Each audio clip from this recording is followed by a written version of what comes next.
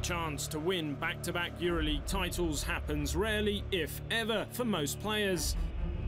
Early in the 2013 Championship game in London, the opportunity to repeat seemed anything but sure for the great Vassilis Spanoulis. Real Madrid had led by 17 points before his teammates cut the difference to four. But at half-time, Spanoulis had zero points. Happened when he returned from the locker room, however, changed basketball history. The game is uh, 40 minutes, it's not 20 minutes. I thought that uh, the difference was not so big uh, in the half, so the other guys, my teammates make great job to, to be close on the game. So I felt that I have to do something to help the team, also from my side.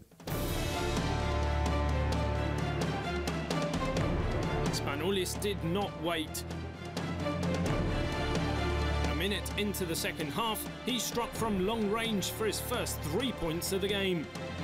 He then scored from the arc on the next two possessions too, for three three-pointers in just 75 seconds.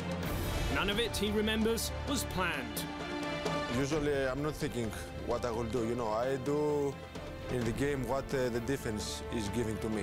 You know, if, if I had to to show, to make good shots. Uh, if they give me these good shots, I will take them. If I have to to make some uh, creations for my teammates, I will make this. You know, I don't have something specific in my mind when I have the ball. You know, I try to do what my, the defenses give to me. Madrid rallied late in the third quarter to retake a brief lead, but early in the fourth, Spanoulis was ready with another picture-perfect three-point shot set the stage for his fifth one, which was pure serendipity. It's obvious my confidence was uh, very high.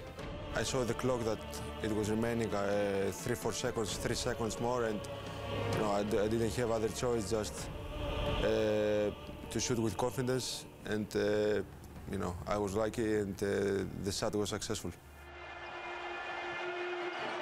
Olympiacos won 100 to 88 after having scored an incredible 63 points in the second half, while Madrid had 47 and Spanoulis himself 22.